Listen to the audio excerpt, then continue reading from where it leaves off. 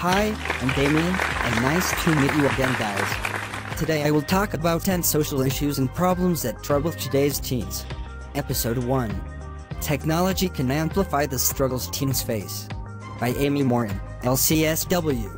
Social issues are problems that affect large groups of people and can affect how well a society functions. Teens can face social problems just like adults can.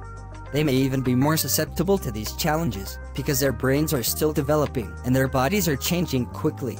Social issues and what we might think of as teenage problems can affect emotional and physical health. Advances in technology also mean that today's teens are facing new and different social issues. Electronic media has changed or amplified some teenage troubles. Digital communication has changed the way teens interact with their peers and romantic interests, for example. Digital life also means that many teens lack essential interpersonal communication skills like knowing how to pick up on social cues. Much of this dysfunction can be linked to the use of technology. Teens' social media and texting habits are changing the way they communicate, date, learn, sleep, exercise, and more. The average teen spends over 8 hours each day using electronic devices. While not all social issues are linked to technology, many have complicated relationships with tech and media use. These are the top 10 social issues teens struggle with every day. According to the National Institute of Mental Health, an estimated 4.1 million adolescents in the United States had at least one major depressive episode in 2020. That means 17% of American teenagers may experience depression before reaching adulthood. Data from NIM also shows that depression is much more prevalent in female teens 25.2% than male teens 9.2%, and among teens who reported two or more races 29.9%. Spending too much time on electronic devices may be preventing young people from in-person activities with their peers, such as sports, which can help ward off depression. They also experience new conditions like fear of missing out or FOMO, which further leads to feelings of loneliness and isolation. Depressive disorders are treatable, but it's important to seek professional help. If your teen seems withdrawn, experiences a change in sleep patterns, or starts to perform badly in school, schedule an appointment with your teen's physician or contact a mental health professional. Do not delay getting help for your teen if you notice these symptoms. About 22% of teens in the U.S. experienced bullying in 2019, according to the National Center for Education Statistics. Research suggests that social media has made bullying much more public and more pervasive.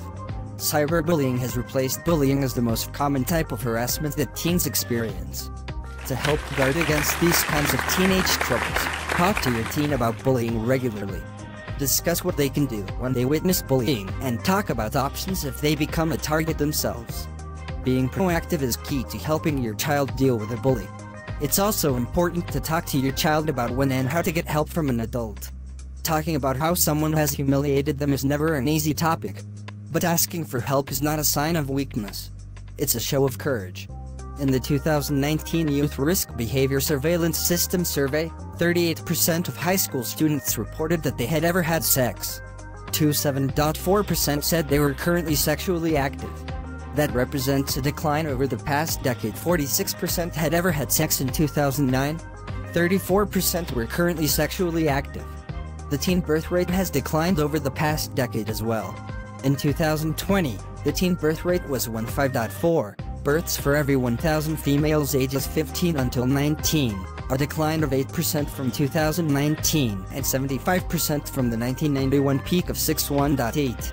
These teen births accounted for less than 5% of total births. Parents may not be aware that their children are sexually active. Talk to your teen about sex and the importance of safe sex practices, even if you don't think your child is engaging in sexual activity. In 2021, about 3% of teens surveyed, in 8, 10, and 12th grades reported using marijuana daily. Marijuana use exceeds cigarette use in teens now, and is at its. In fact, many teens believe marijuana is less harmful now than in years past. This new perception may be due to the changing laws surrounding marijuana. Teen use of other substances is declining, according to the Monitoring the Future survey published by the National Institute on Drug Abuse. While this decline has been noted since the survey began in 1975, decreases in 2021 were steep and atypical.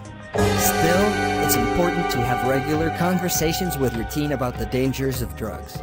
And don't forget to mention the dangers of prescription drugs too.